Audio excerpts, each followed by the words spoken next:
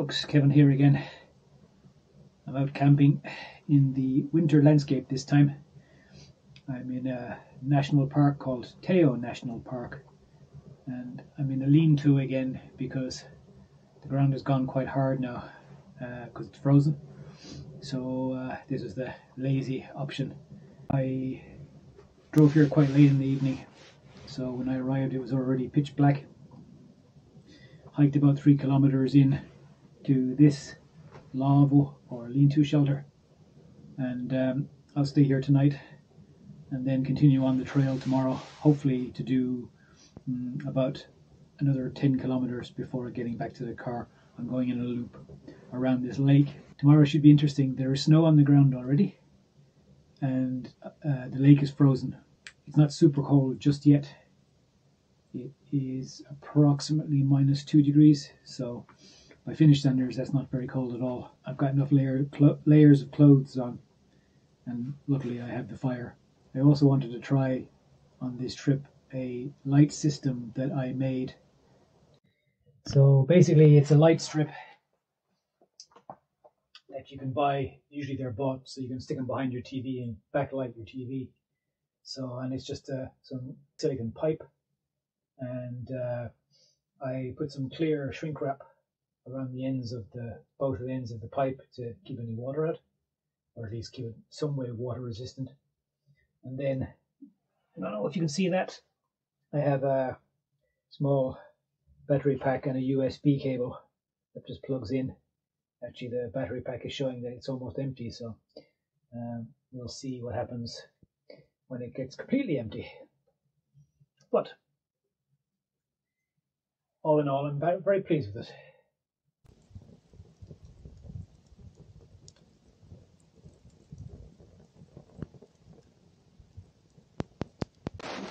Alright, I'm ready for bed. I'm all tucked up. I have my Mia Xtherm. Now is a good time to put it through its paces and see if it'll keep me warm. So, let's see. I got a a balaclava to keep my my head warm along with this fleece cap because apparently you're not supposed to stick your head inside the sleeping quilt because it makes it damp inside. So you're supposed to keep your face outside at all times. So I thought that rather than freeze my face off I get this balaclava and I'll become the orange ninja. Okay, I look like a tit, but hey, if it works, I'm not going to complain too much. So, yeah, I'll say good night, and I'll hopefully get some more footage from around the lake and the rest of the walk tomorrow, and I'll give you a small tour of uh, this particular laavu or lean-to shelter. So, yeah, sleep tight. See you in the morning. Good night.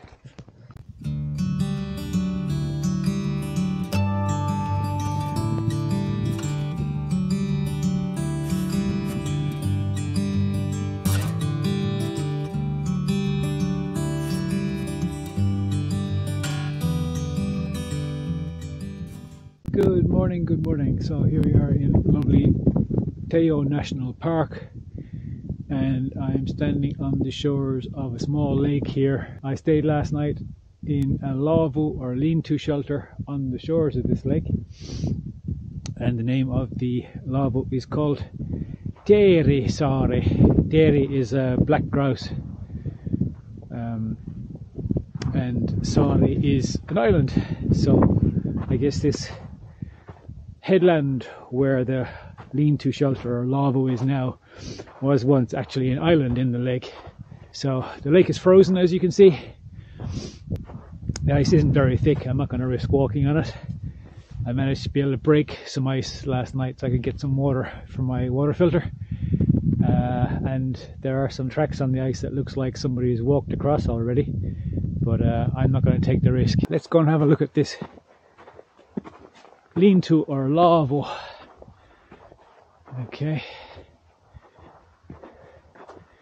So, it's quite similar to the place I was before, bit larger though, and Um, also, the fireplace is better appointed.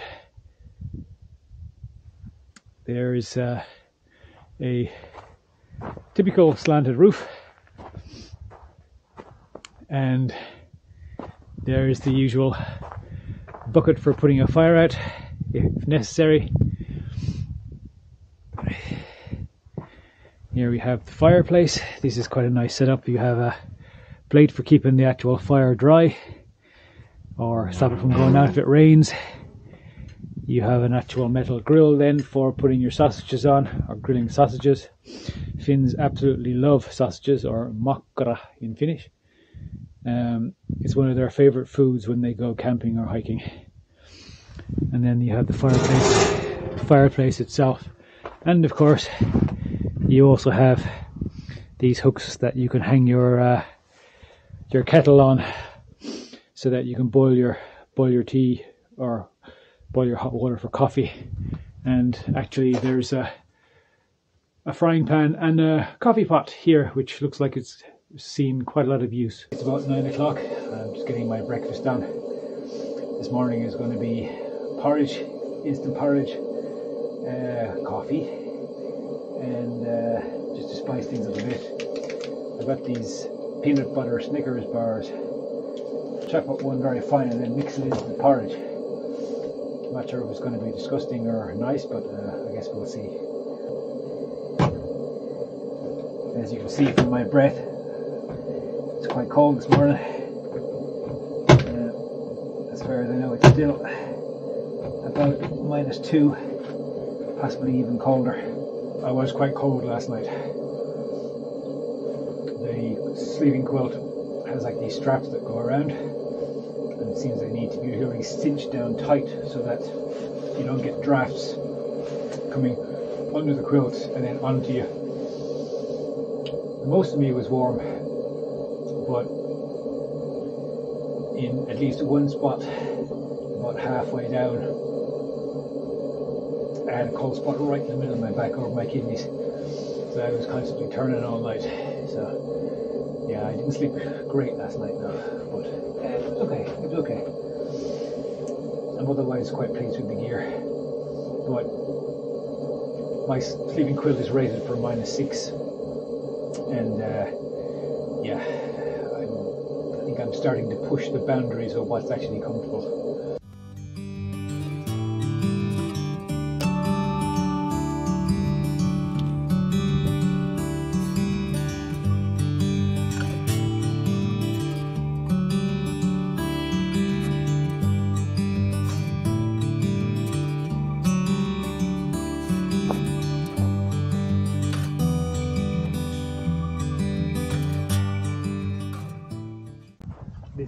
Swamp area that surrounds the lake and uh, they put in duck boards to keep you dry in case the water level is high.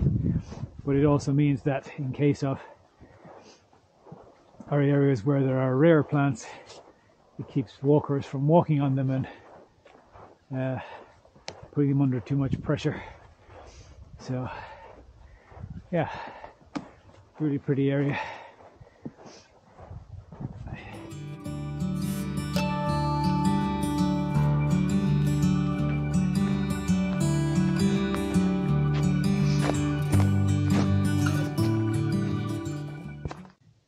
no tracker, but uh, I'm pretty sure that these are either deer or potentially even moose track. You can see that the two marks where the the hooves hit the ground, and they're fairly fresh. Probably done last night or possibly this morning. There's also hair here and some mouse tracks and I think somebody's been walking. It's either a fox. Uh, you can see that there. That's been trotting or possibly running. Um, I don't think it's a dog because there's no human tracks with it. So, stray dogs aren't really a thing in Finland. So, I have to keep my eyes open. I don't want to come face to face with a moose. It's incredible these pine trees, how they're darker grey near the base and they go to almost like a light brown as you go farther up the trunk. Really beautiful.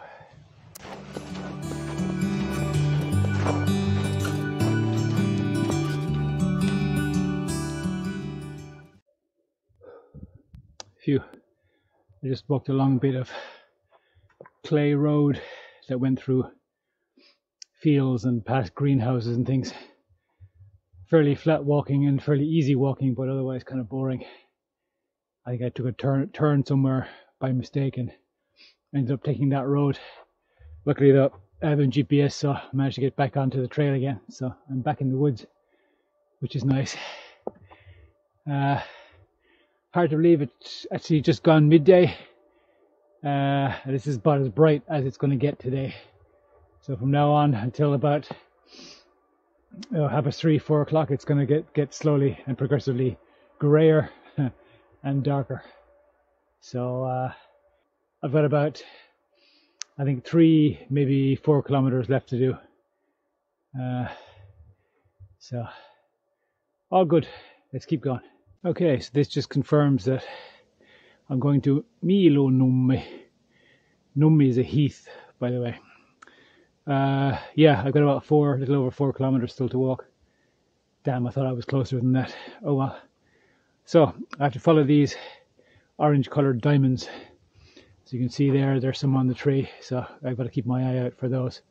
That will bring me back to Milo Nummi, where the, my car is parked. Finland's landscape is heavily influenced by glaciation, and this large boulder is what's known as an erratic.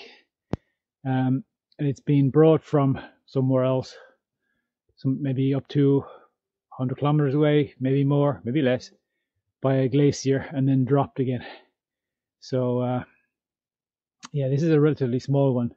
They can be as big as buses, and uh, the largest ones in Finland are as large as houses. So uh, it just makes your mind boggle the sheer power of a glacier to pick up these massive boulders and transport them tens or even hundreds of kilometers.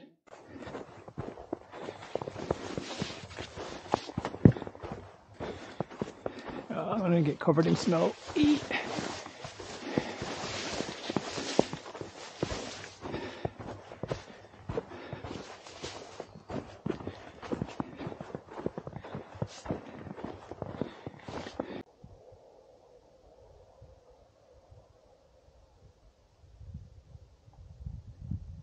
So here we are at a high point along the trail. Yeah, I decided to stop, have a little break. So I just discovered on my phone that there's a geocache quite, quite close. So I think I'm going to try and nab that while I'm on the trail. Okay, and there is a pin.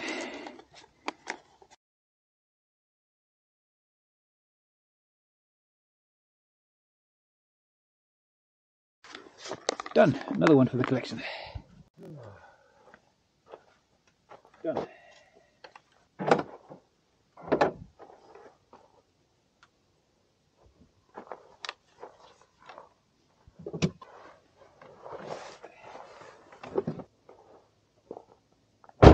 Okay, folks, so just finished the hike. Uh, it's approximately 11 kilometers. Yeah, all in all, it was a, a really good hike, and I would definitely do it again. So, that's me done for the day. Uh, hope you enjoyed the video and uh, yeah, I'll catch you on the next trail. All the best. Bye bye.